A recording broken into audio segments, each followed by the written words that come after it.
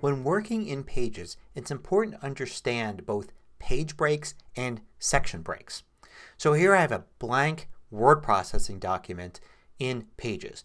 These things only really apply to word processing documents, not page layout documents like brochures and flyers and things like that. So I have a blank document here and I can insert some text. Let me just uh, type the word 1 here on the first page. And I can insert any other text that I want, some black lines, anything. Now here under Insert I have both page break and section break. So page break is pretty simple.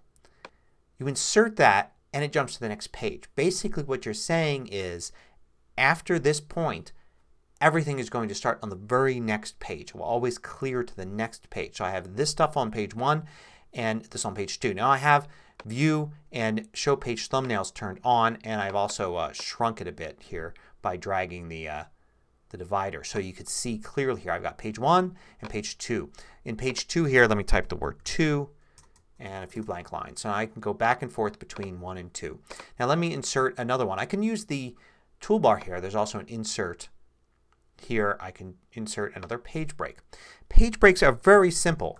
Really the only thing they do is basically say clear the rest of the page, jump to the beginning of the very next page. So I have three pages here. Now one thing that people have trouble with a lot when dealing with multiple pages like this and with page breaks is they want to rearrange things. They say well you know I want 3 and 2 to be switched. And in the thumbnails here on the left will try to drag them and they find out they can't drag it. It's very frustrating. That's because pages are always sequential.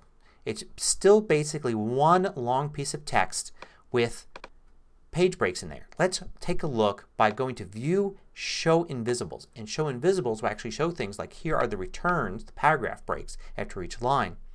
Also you'll see the page breaks. There, this blue line here and a little page at the end. And I can go to the next page and you can see there's the one there. And the next page here I don't have one there at the end there. So you can visually see this. It is uh, really useful to think of this as actual physical character on the page because it really is one. Matter of fact if you wanted to get rid of it uh, I could simply use the forward arrow here. You can see I'm just before this line break there. I go to the next line. You can see I'm just before the page break. I forward arrow again and I go to the beginning of the next page. Now if I were to delete it would delete the previous character. The previous character is the page break. So by deleting it I get rid of it there and I've merged the two pieces of text on those two pages there. So I think of it as this extra character that is there. Now what about being able to arrange pages. If that's your goal then page breaks aren't what you want. What you want are section breaks. So at the end of page 3 here I'm going to insert a section break. Now I'm going to use the back arrow key, the left arrow key here to go back and you can see I've got what looks like a page break character here because I still have view show invisibles right um, but it's a little bit of a different icon showing me it's a section break not a page break. It seems to behave the same right? It clears the rest of this page and I go to this next page which I'll call 4. That's uh, handy but it seems to do the same things. Let's do another section break here. Now I have page 5. I can use the back uh, arrow here and I can see there's that character there at the end of page 4. There. Now what's the difference? Well there are a bunch of differences between section breaks and page breaks. Page breaks as I said are very simple. They just clear to the next page. That's all they do. Section breaks are a lot more complex because each section you create, and now there are three sections. I've added three page breaks, or section breaks. One after page 3, one after page 4. So pages 1, 2, and 3 are part of section 1. Page 4 is section 2 and page 5 is section 3.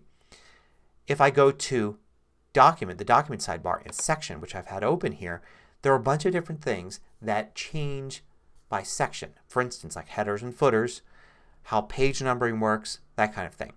So you can actually have different page numbering or different headers and footers on each section. So that's one way that sections are very different than pages. Another thing you can do is you can drag and drop sections here in the thumbnails on the left. So I can grab any page in the first section here and you can see they group together and it says 3 there. And I can actually move section 1 around. Likewise I could grab page 4 and that's a section by itself and I can move that before section 1 or after section 3. So sections can be moved. So if you're doing the kind of thing where say you're not, you don't want to do a, a page layout document, you still want to do word processing, but you want each page to be a separate item and you want them to be able to move around, then instead of creating page breaks, create section breaks and you'll be able to move any page into any spot. And if you want to ever have more than one page as a group, you just create a page break there. So you can have three pages that are a group, two pages that are another group, another section, a page by itself that's a section, all of that. And these sections then are movable. So it's important to understand the difference between page breaks and section breaks and be able to turn on these invisible characters here so you can actually see them and get used to actually thinking them as characters that are actually inserted in your text.